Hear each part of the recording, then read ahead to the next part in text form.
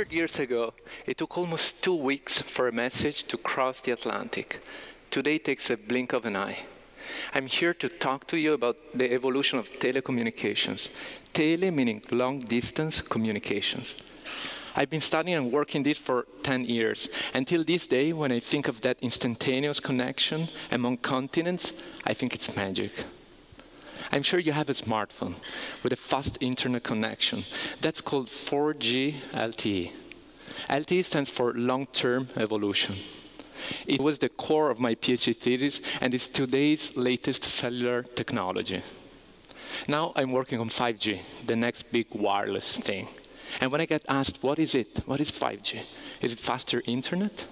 I usually say, get ready, because it's much more than that, which is why I'm here today. I want to take you on a journey, a wireless journey towards this 5G and its impact on society. The very first mobile phone call was made in 1973 by Martin Cooper. He was an employee at Motorola, and that day he was in Midtown, New York, and decided to call the Bell Labs, his competitors, saying, hey guys, I'm calling you from a cell phone a real handheld portable cell phone. Can you believe it? That prototype weighed more than two pounds. You could store up to 30 numbers, and it had a stellar battery life of 20 minutes. It was sold in the 80s for $4,000. That was 1G, all about phone calls. And then we got 2G, a smaller phone with a nice digital interface where you could send and read messages. You could also play games like Snake. Do you remember Snake? I love that. I love that. And then we got 3G, and 3G triggered the real mass adoption of these devices. Beautiful touchscreen interfaces with this internet connectivity, the most important thing, which triggered us telecom engineers to bring faster and faster internet connection into your phones. So it's how we got here today, 4G LTE, the whole internet fast and seamless at your fingertips. So what is 5G? What is ahead of us? But before I jump there, I want to explain you how it's even possible that today we can send a message from here to the other side of the world in a blink of an eye, literally. It's even faster than that the core of connectivity, of global connectivity, is the internet. And in spite of what many people think, it's not based on satellites and space communication, it's based on real, tangible cables. The internet runs over cables. Terrestrial, underground, and underwater, thick underwater cables. The very first attempt to deploy an underwater cable happened in 1850 trying to connect England and France over the English Channel. But that was a failure. The, the, the, wire was so thin and light that it couldn't even sink into the water. It was just floating miserably. but in eight years, in 1858, they were able to connect Europe and North America. This was the electric telegraph, the first miracle of communications. It was the very first time in history where you could send messages across continents over wires fastly instead of walking or riding a horse like Pony Express or crossing the ocean on a ship.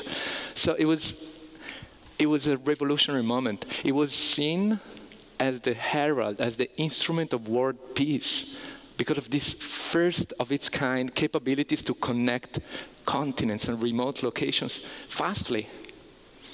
It was so revolutionary that Tiffany's, the New York jewelers, they bought the remainder of that cable, they cut it into four inches pieces, and they sold them as souvenirs. Today we have over half a million miles of cables all around the world connecting the planet.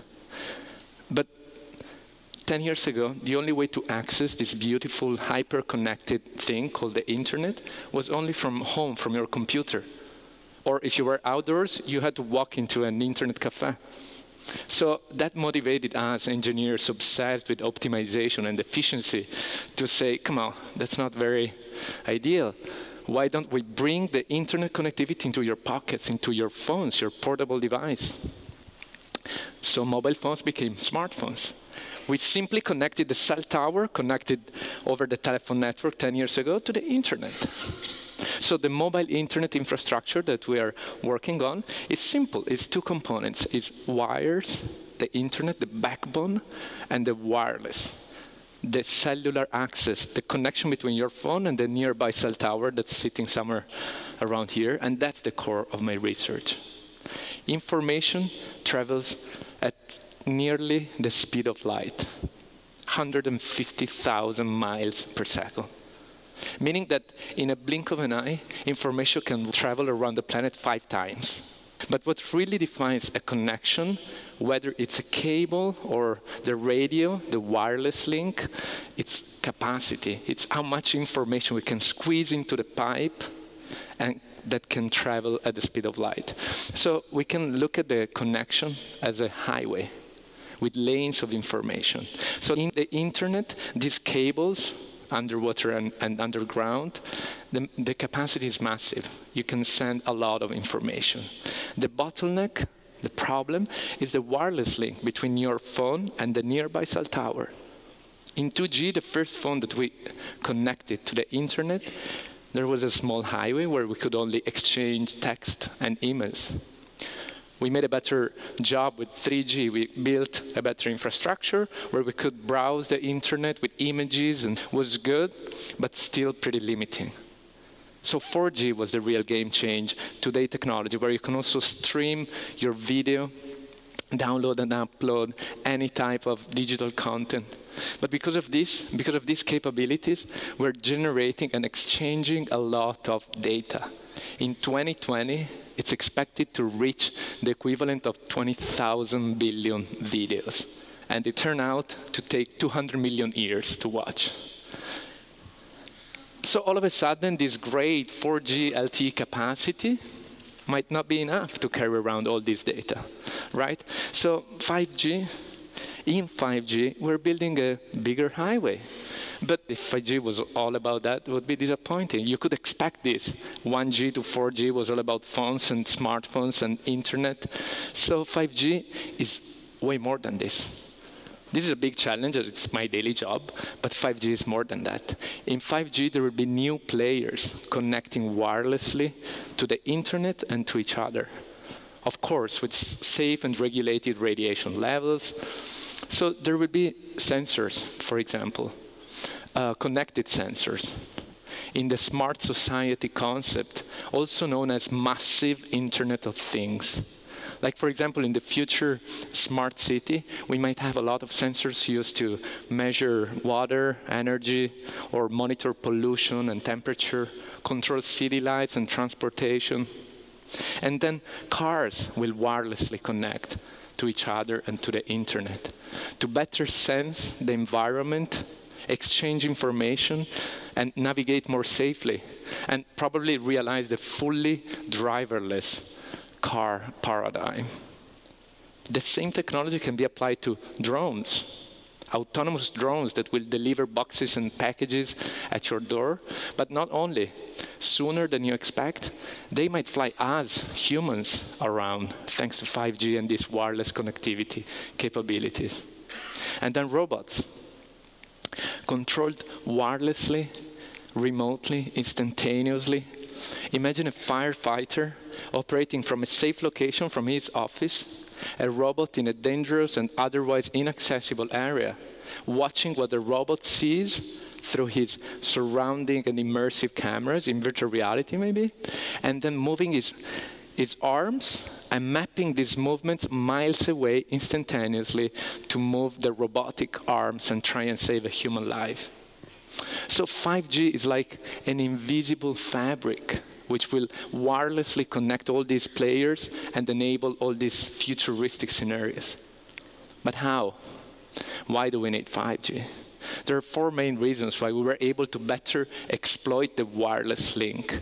The first one is a wider highway, more capacity, which is needed. Because, for example, cars will generate a lot of data to sense the surrounding and be safe and navigate safely, will sense through cameras and lidars and radars, and then they need to exchange this information to help nearby cars to sense potential danger. So we need a lot of wireless capacity to enable all this.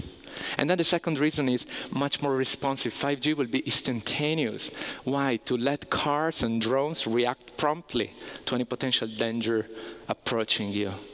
And imagine remote surgeons, thanks to instantaneous responsiveness, they can operate with extreme time precision, wirelessly and miles away.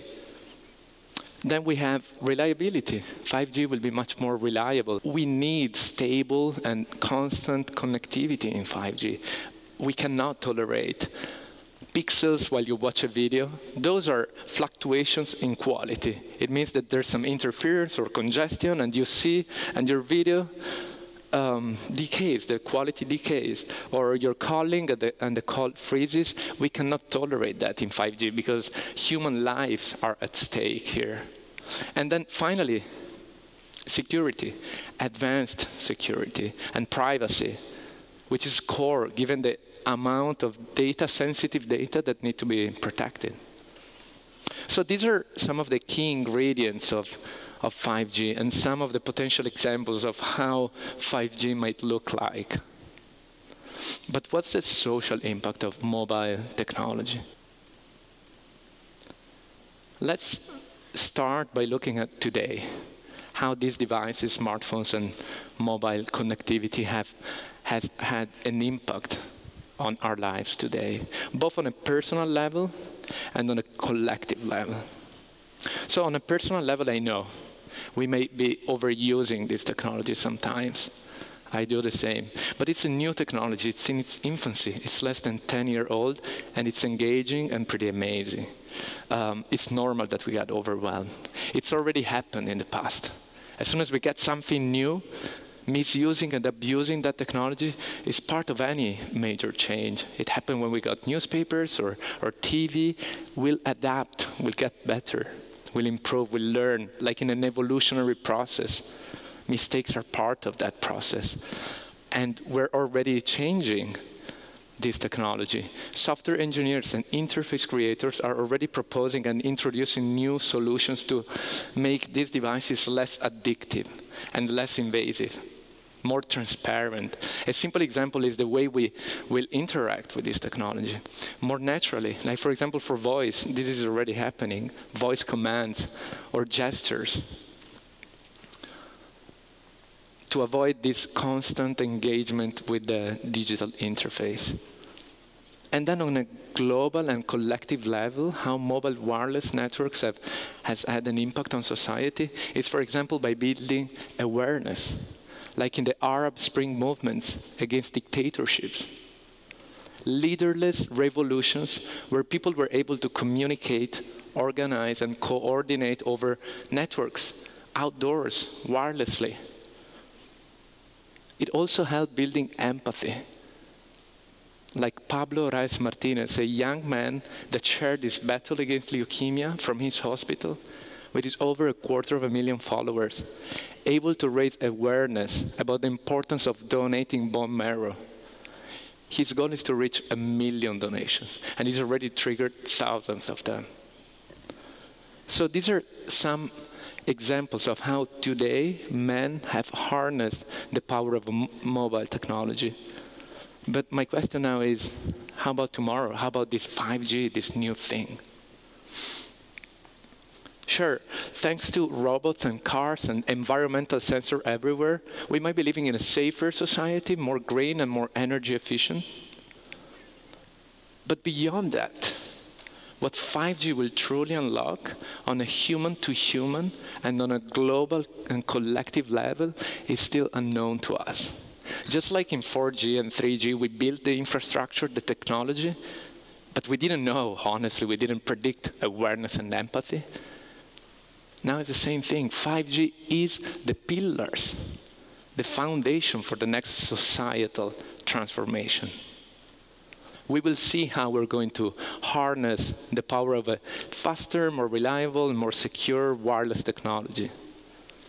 I, I personally imagine a world where fast and ubiquitous connectivity will democratize the access, for example, to health and education by remotely and instantaneously connecting teachers and doctors with people in underdeveloped countries or in underserved locations. And I envision a global network where, on top of information, we'll be spreading and expanding empathy, getting us closer to distant strangers, stimulating creativity, or moving compassion. I imagine a network that will be able to spark our curiosity, foster openness, and create a social glue for radical change, where we can all play a role and make a difference.